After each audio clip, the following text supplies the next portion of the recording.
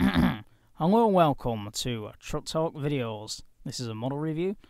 I have got hundreds of Oxford diecast, so what can I say? I will be doing more.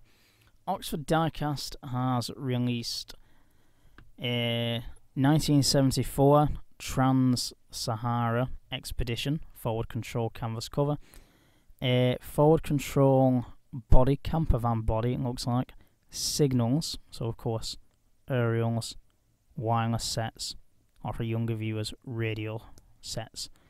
Uh, in standard NATO green, and an ambulance which will represent the 1991 Gong 4, and of course we also have a Land Rover 110 long wheelbase, which is in the urban camouflage as seen on this forward control, which of course is the British Army on the Rhine. And the detail with the fuel filler cap there is excellent.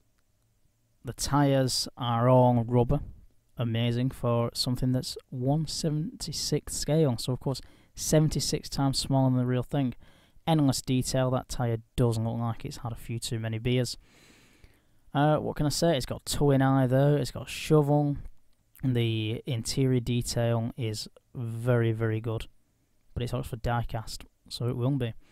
It's a shame you can't see through that mirror, and a shame that it's got a large point at the back to hold the roof up that you can see. That's why it's only an 8 out of 10.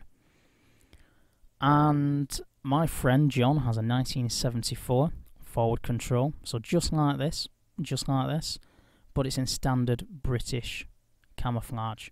It does look like the real thing, this. The grill is very good, even windscreen wipers. Great how you can see so clearly through that window, I think. Amazing, as I said before, a towing eye.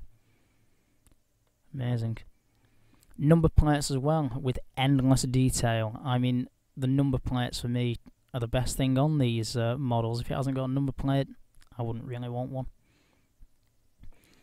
And there is a signals van coming up soon.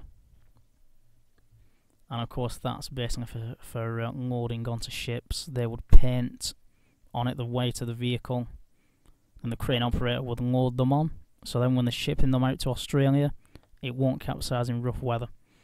Coming up next is a forward control from the film Judge Dredd. There was 31 converted for that film. I quite like it.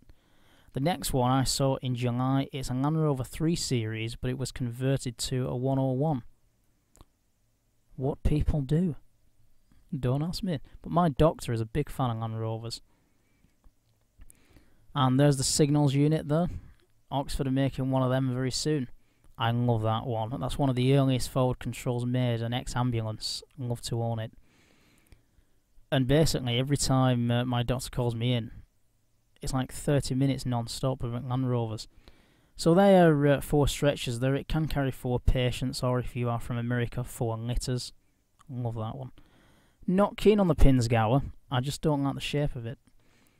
That's what the uh, forward control was originally developed for, to tow the light British Army field guns there, and 50 was sent to Australia. Love a model of that. And Kelvin the Creator here on YouTube, my great friend, he has made this model, coming up next, entirely out of cardboard. Do look at his channel, Truck Talk Out. See you next time. Ta-da!